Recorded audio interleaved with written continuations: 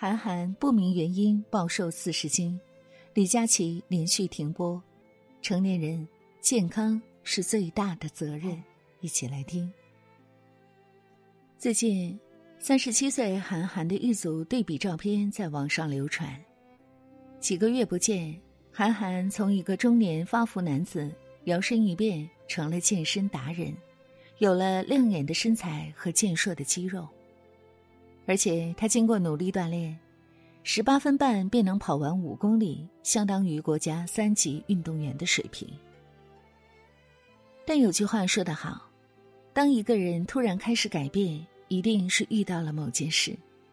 果不其然，韩寒在回应中曝光，自己日常工作压力较大，熬夜是常事，后来体重突然开始往下掉，几个月掉了四十多斤。人体无缘无故暴瘦，韩寒感受到了健康危机，特地去医院做了各种检查。所幸检查结果是好的，可到现在他都不知道暴瘦的原因所在。有人说是肠胃问题，有人说是压力所致，有人说生活作息不规律影响的。也是从那之后，他才开始积极的运动。知乎有一个提问。在什么时候让你突然意识到健康很重要？下面的回答很扎心。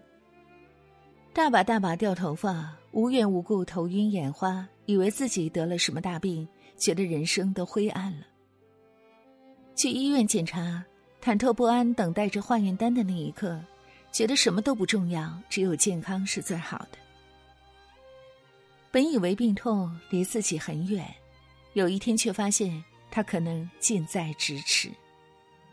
本以为自己不怕死不怕病，有一天发现，连去接一份体检报告的手都是抖的。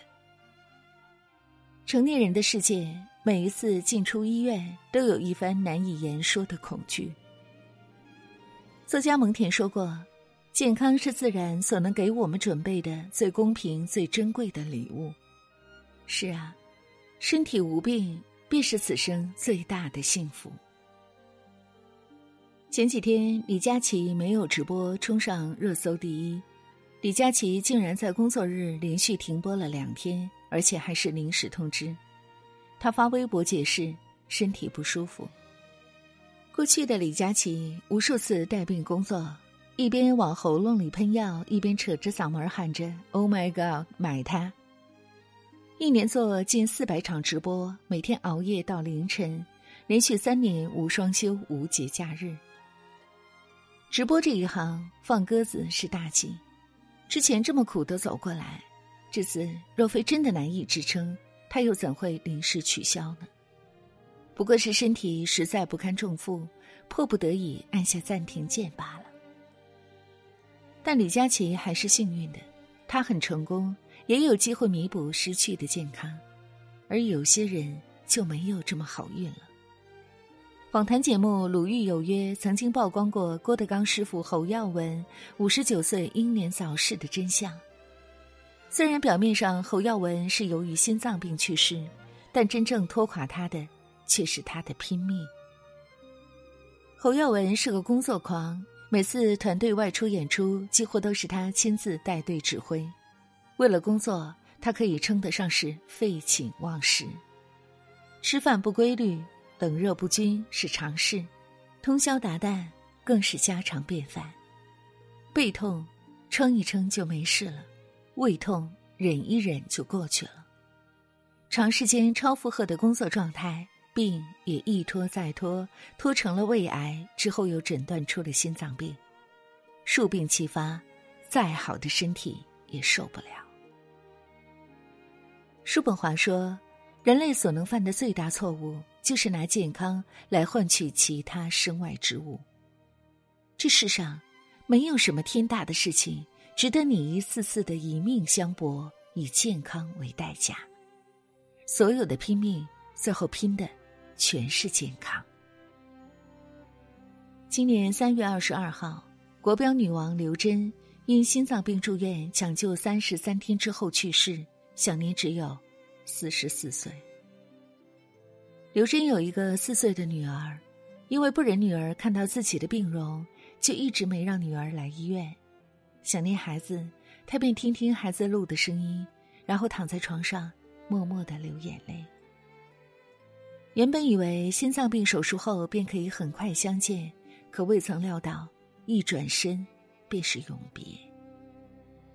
手术失败了，人没了，到最后他都未曾见过孩子一面。害怕女儿难过，父亲就告诉女儿。妈妈出去很远的地方工作旅行，要好几年才会回来。爸爸会用生命保护你。父亲以为孩子听到之后会哭闹，没想到孩子一声不吭，一直的流眼泪。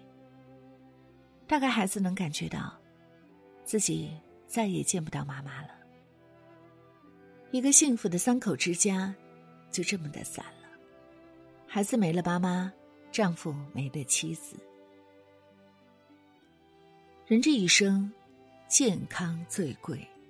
没有健康，我们无法保护自己的孩子长大；没有健康，我们无法照顾自己的父母到老；没有健康，我们更无法陪伴自己的爱人直到白首。章子怡在综艺节目《妻子的旅行》中表示，自己不敢再接有危险动作的戏了。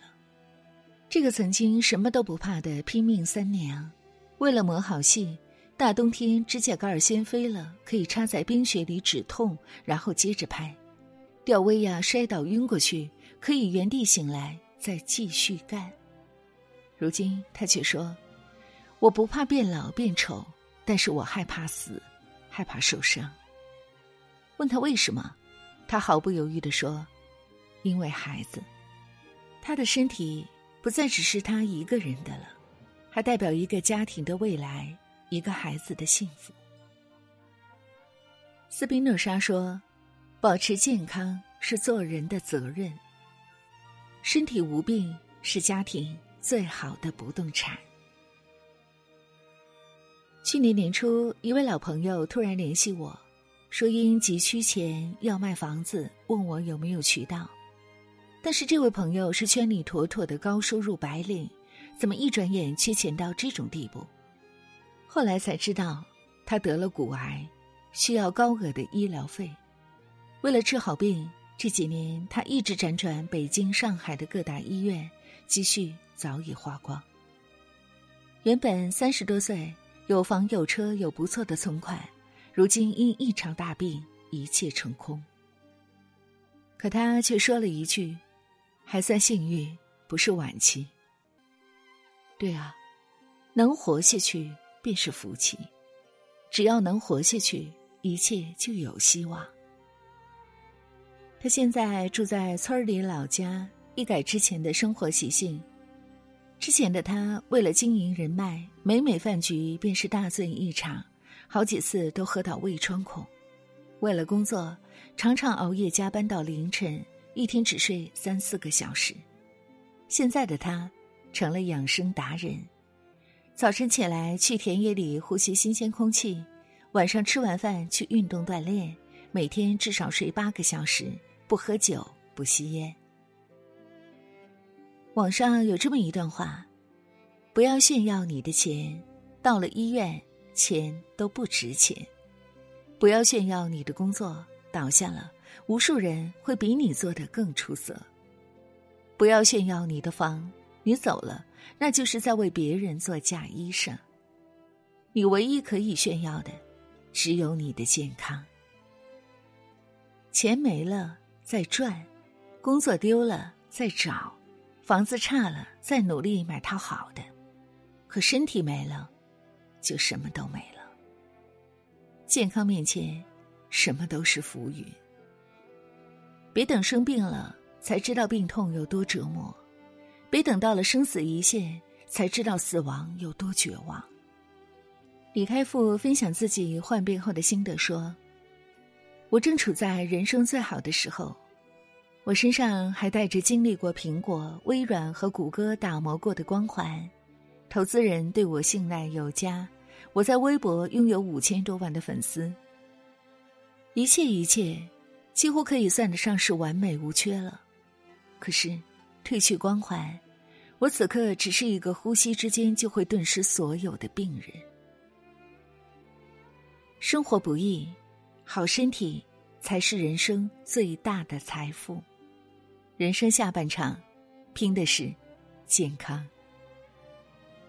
的确哦，人活着，请善待自己，善待生活。身体是革命的本钱，有一个健康的身体，你才能够更好做好自己的事情，才能更好的生活。所以，不管生活给了我们多大的压力，一切都要以自己的健康为前提。没有健康，就没有一切的。听过了今天的文字，您的感悟又是如何呢？欢迎大家在留言区和我们共同分享，很期待和你的相遇。